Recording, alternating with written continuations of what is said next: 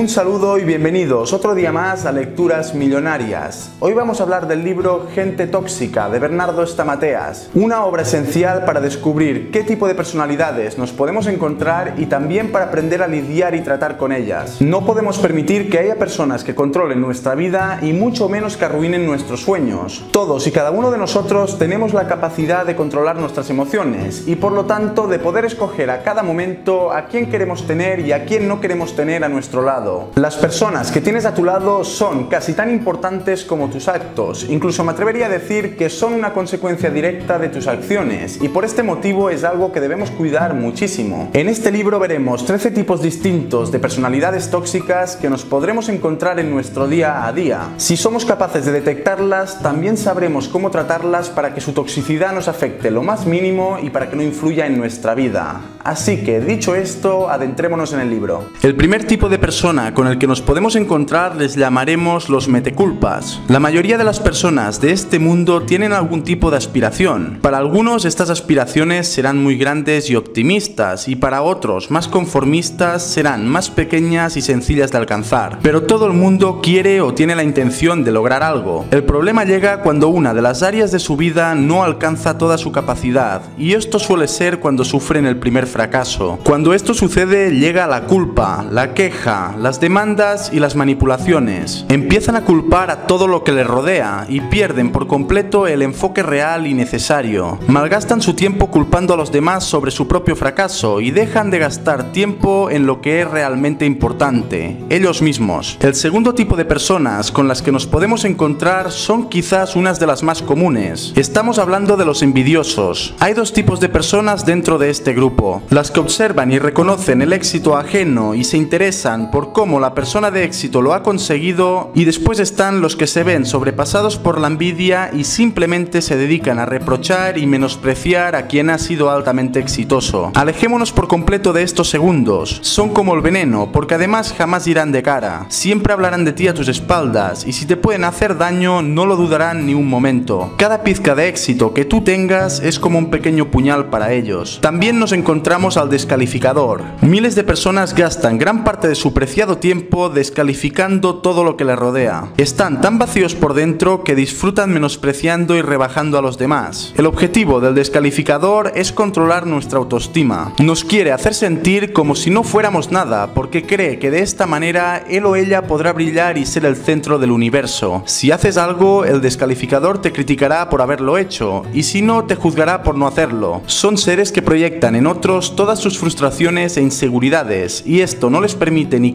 ni desarrollar todo su potencial. El cuarto tipo de persona es el agresivo verbal. Su objetivo es hacerte sentir débil, inseguro e incapaz. Siempre te estará demostrando que lo sabe todo y que evidentemente sabe mucho más que tú. Normalmente cuenta con la autoridad o la capacidad de llevar a cabo lo que se proponga. Todo lo que diga lo hará en tono irónico, como riéndose de ti. Cuando le preguntes qué le parece tu trabajo, te responderá algo del estilo, está bien, pero lo podrías haber hecho mucho mejor si hubieses puesto esto o aquello. Debemos ser muy fuertes mentalmente para recibir los ataques que nos llegarán por parte de un agresor verbal. Intentarán siempre bloquear nuestro potencial y los sueños que tenemos por delante. También es muy importante que podamos reconocer al falso e incluso que nosotros mismos no nos convirtamos en quien realmente no somos. La persona falsa delante tuyo te hará la pelota y simplemente te dirá lo que quieres escuchar, pero a tus espaldas estará contando todo lo contrario. No dejes que gente así forme parte de tu vida, son extremadamente tóxicos y lo más importante, no te conviertas en uno de ellos. Sé quien realmente eres, no te camufles detrás de una máscara para satisfacer o gustar a otros. Recuerda siempre que lo que te hará triunfar es tu esencia. El sexto tipo de personalidad es el psicópata. Un psicópata no es solamente un asesino en serie, sino que es alguien que puede estar perfectamente en el trabajo, en la escuela, en la iglesia o en los lugares que frecuentes de manera más habitual. Son unos expertos de la mentira y los engaños y tienen como objetivo Objetivo número uno, traicionar y arruinar tu vida. Su característica principal es que son capaces de hacer mucho daño sin sentir remordimiento alguno. En lenguaje de calle diríamos que están locos y por lo tanto la recomendación es alejarnos de ellos cuanto más mejor. Después tenemos a los mediocres. Los seres humanos tienden a ir a lo fácil y lo fácil muchas veces está relacionado con el hecho de conformarnos y aferrarnos a lo conocido por miedo a perder lo que ya hemos conseguido o por simple temor a lo desconocido. Te levantas, cumples con tu rutina diaria, vas al trabajo, sales, vuelves a casa y cada día lo mismo durante el resto de tu vida, sin darte cuenta de que poco a poco vas entrando en una especie de bucle que sin duda alguna está más próximo a la mediocridad y la escasez que a la prosperidad y la abundancia. Y así pasan los días, inmersos en una red vacía donde el estímulo, los sueños, los éxitos y lo trascendental no tienen lugar. Las personas mediocres no son mala gente, pero debemos ir con cuidado porque nos pueden contagiar su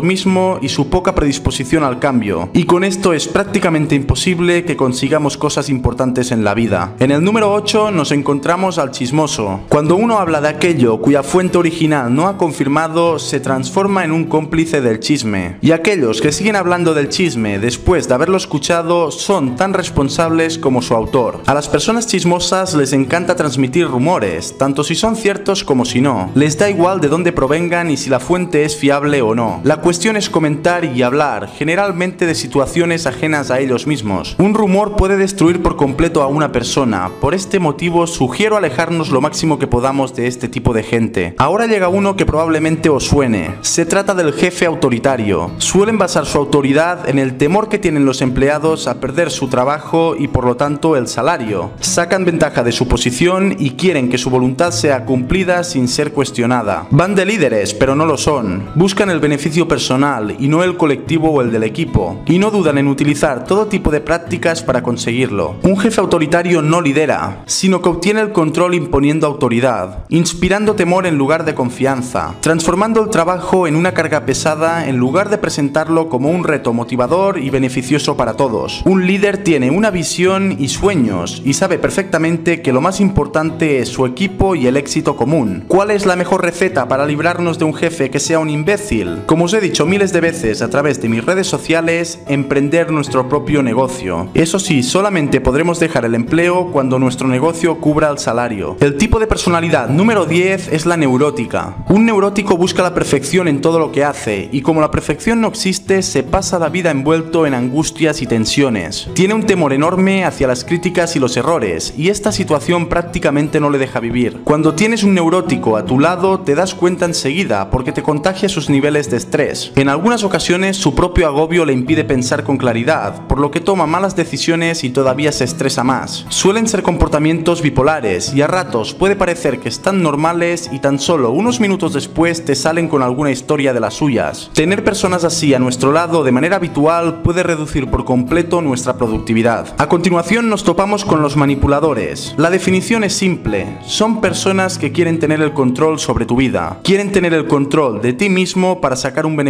propio. La actitud del manipulador suele ser amable y amigable al principio, de manera que consigue ganarse tu confianza. Te da una serie de cosas que después no duda en querer cobrar y evidentemente no hablamos en términos de dinero. El que te da sinceramente jamás te va a pedir nada a cambio, pero el manipulador te dará para después venir a pedir su recompensa. Exigirá que estés en todo momento para satisfacer sus necesidades, pero él o ella nunca estará ahí cuando tú lo necesites. Puede utilizar varias herramientas para manipularte, pero las más comunes van a ser la crítica, el maltrato y la culpa. Cortemos de raíz nuestra relación con los manipuladores, sin miedo y sin pensarlo, porque si no nos absorberán. El orgulloso ocupa el tipo de personalidad número 12. Decía Bernard de Fontenelle que el orgullo es el complemento de la ignorancia. El orgulloso muchas veces termina humillado. Normalmente se considera el mejor, pero siempre llega alguien que lo supera y como no lo acepta se ve sometido a una humillación que él mismo ha creado. Tener autoconfianza es algo totalmente necesario, pero debemos dejar un margen para mejorar, cuestionar, reconocer errores, equivocarnos, superarnos y buscar la excelencia y no la perfección. Una persona orgullosa suele tener una mente cerrada y esto le impide poder ver más allá de sus propios límites. Y finalmente, el que se queja es del último que vamos a hablar. La queja es insatisfacción, resentimiento, disgusto y descontento. La persona que se queja suele tener en su interior un cúmulo de emociones negativas y reprimidas que condicionan su presente y futuro. Hoy en día conocemos a miles de personas que se están quejando por todo constantemente y la mayoría no tienen los motivos suficientes para hacerlo. Rompamos con esta costumbre tan primaria porque nos impide avanzar y alejémonos de las personas que solamente esperan encontrarte para vomitar sobre ti lo desafortunadas que se sienten. No dejemos que nos contaminen. Para mejorar nuestras relaciones debemos mejorar también nuestras palabras. Si nos convertimos en personas honestas y llevamos a cabo lo que hemos prometido, nos ganaremos la confianza sincera de la gente y esto nos dará poder y liderazgo. Aquello en lo que piensas y crees es en lo que te conviertes y según el tipo de palabras que utilices vas a gozar de una vida plena o de una vida mediocre. Llenémonos de palabras de vida, de pasión, de aliento, de estima, de motivación, de anhelos y de deseos. Aprendamos a hablar en positivo y no en negativo. Escoge muy bien a quién quieres a tu lado y a quién quieres que te acompañe en este viaje llamado vida, porque tus resultados en parte van a estar condicionados por tu círculo más próximo. Las conexiones y las personas de oro potencian nuestras capacidades al 100%. Si vas con mediocres terminarás siendo un mediocre, pero si vas con gente exitosa y que te dé alas, acabarás siendo una persona de éxito. Cuanta más atención prestes a lo que te dice tu corazón, mayores serán los éxitos que vas a cosechar. No te enfoques en las personas, enfócate en los objetivos. No te detengas a evaluar ni a entender a nadie. Tu objetivo no es comprender ni justificar las actitudes de los otros, sino las tuyas, lograr la visión correctiva necesaria y seguir hacia la meta. Hasta aquí todo lo que debemos conocer sobre este gran libro. Es, sin duda alguna, una de esas obras que debemos tener siempre presentes, porque nos estamos relacionando con otras personas de manera constante y por lo tanto es muy probable que en algún momento dado nos choquemos con alguna de las personalidades de las que hemos hablado. Pero hay algo que me gustaría destacar. No solamente debemos ser capaces de detectar a la gente tóxica, sino que también debemos aprender a actuar frente a ella. Si no hacemos nada al respecto, no nos sirve de nada el hecho de saber que, por ejemplo, tenemos en nuestro entorno a gente falsa o envidiosa. Debemos cortar esa relación de raíz, tenemos que ser radicales, porque es nuestra vida y nuestro futuro los que están en juego. Soy plenamente consciente de que esto no es algo fácil, porque además hay otros factores que también intervienen, pero os invito a que seáis egoístas y a que penséis en vosotros mismos, porque recordad que una manzana podrida en un cesto termina pudriendo todas las demás. Y cuando hacer todo esto no te sea posible porque las personas tóxicas las tienes en el trabajo, en la familia o donde sea, crea una especie de barrera mental que te permita protegerte de sus comentarios y de sus acciones. Si sabes por dónde te van a salir, siempre vas a ir con ventaja y de este modo vas a tener la situación controlada en todo momento. Espero que te haya gustado el vídeo de hoy y si es así me gustaría que me apoyases con un like y sobre todo que actives las notificaciones del canal en la campanita porque últimamente YouTube no termina de funcionar muy bien y si no haces esto no vas a estar al día de los futuros vídeos. Ya sabes que me puedes seguir en mi cuenta de Instagram, arroba lecturas barra baja millonarias y en mi otro canal de YouTube, ricarh.c. Y recuerda, educarte es la mejor inversión que harás en la vida. Un saludo y hasta el próximo libro.